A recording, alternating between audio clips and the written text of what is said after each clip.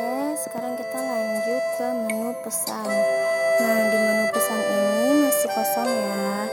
Menu pesan ini bisa kita gunakan untuk menghubungi uh, konsumen. Bisa dari kitanya, bisa juga konsumen yang uh, duluan untuk menghubungi kita. Misalkan kita coba dari konsumen terlebih dahulu yang menghubungi kita ya. Nah, di aplikasi konsumen ini nah misalkan uh, kita mau menghubungi uh, apa namanya menghubungi uh, penjualnya. Nah misalkan uh, kita setelah melihat ini ada yang ingin kita tanyakan itu kita uh, bisa langsung uh, klik di sini. Nah di sini misalkan.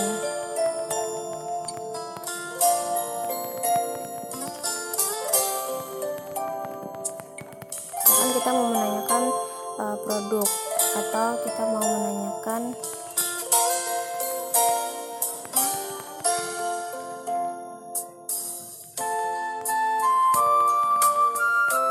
menanyakan produk ya. Nah ini kita tinggal tunggu uh, penjualnya untuk memberikan respon. Nah di atas ini juga kita muncul nih. Nah ini pesan. Nah ini kelihatannya di sini pesannya. Sekarang kita klik misalkan muncul tadi ya di pesan masuk ini nih di pesan masuk. Nah ini ada yang menanyakan. Saya kita balas.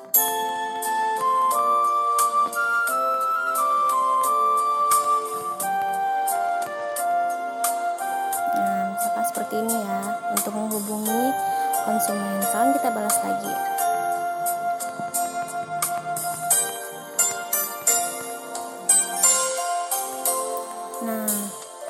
sudah. Nah, misalkan uh, si konsumennya ini sudah uh, pesan.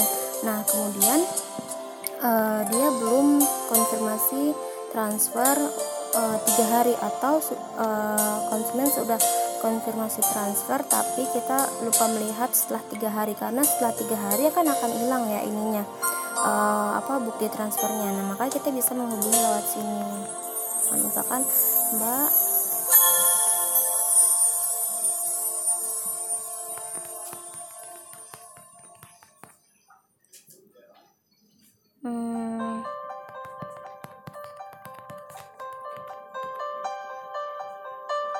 Nah, misalkan seperti ini ya. Nah, ini bisa kita gunakan untuk menghubungi uh, apa konsumen kita. Misalkan kalau kita mau dari sini nih kita menghubungi, menghubungi namun si konsumennya belum menghubungi kita, kita bisa klik di kanan bawah ini tanda plus. Nah, misalkan kita mau menghubungi yang lain ya misalkan kita hubungin yang ini yang ini beda ya emailnya ini misalkan beda orang tapi tadi saya kasih namanya sama kan kita sini bisa.